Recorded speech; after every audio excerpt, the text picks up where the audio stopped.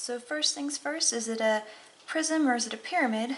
Well, two bases connected, no pointy top, this is a prism. And they want us to find the surface area. So what kind of prism is it? Well, it's a triangular prism. The base is two triangles connected. So that's a triangular prism. And so I want to find my lateral area. And my lateral area is going to be the perimeter of the base times the height. So I've shaded the base, I know where my base is, and I just need the perimeter of this thing. So I walk around, start at here, I need to add 6 plus 8 plus oh crud, I don't know that. So you could do a little Pythagorean theorem, or you could recognize this as 6, 8, and 10. If you did uh, 6 squared plus 8 squared gives you C squared, you would get that C is 10. And when you add those all up to get the perimeter, 1824.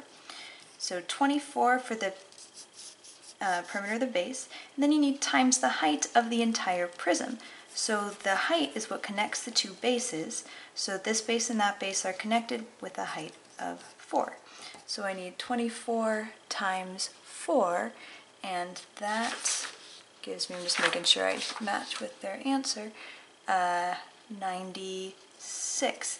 So that's the lateral area, and then, so that's good. And then they want the total surface area.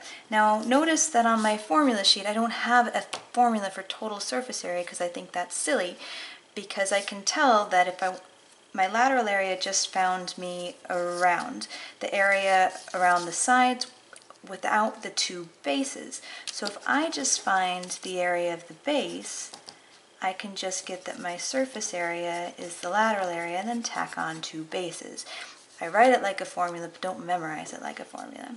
So the base, going back to the base, you want to find the area of that. It's a triangle. One half the base of the triangle times the height of the triangle. So just look at that and ignore the rest of it. The base and the height of the triangle are perpendicular, the 8 and the 6. So it's uh, half of 8 is 4 times 6 is 24. So I can get the area of the whole thing by taking my lateral area plus 2 bases.